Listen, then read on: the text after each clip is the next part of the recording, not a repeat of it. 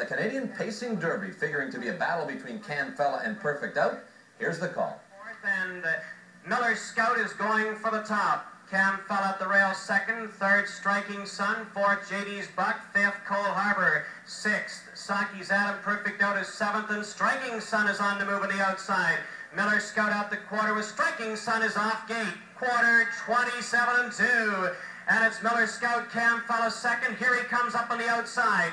JD's Buck is third, fourth at the rail, Cole Harbor, Saki's Adam fifth, and Perfect Out is sixth. Cam Fella takes over the lead.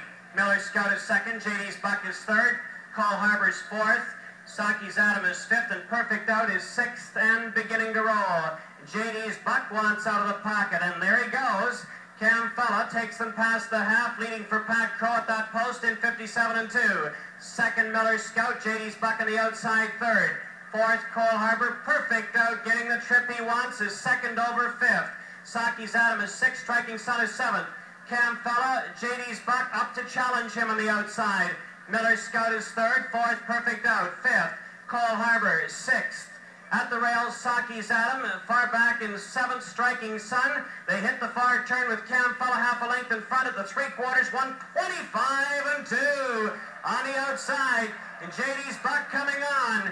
Third, Miller's Scout, perfect out is fourth, waiting for the stretch battle. Here he comes, three wide.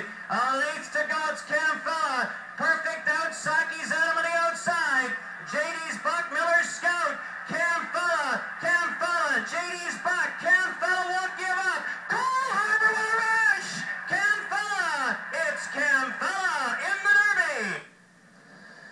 Cam Fella, new track record, 154 and 4. J.D. Buck was second, the other half of the entry. Cole Harbor third. Perfect out, as you may have seen, very briefly broke there and finished a disappointing fifth. The 3 1 exactor, $9.60.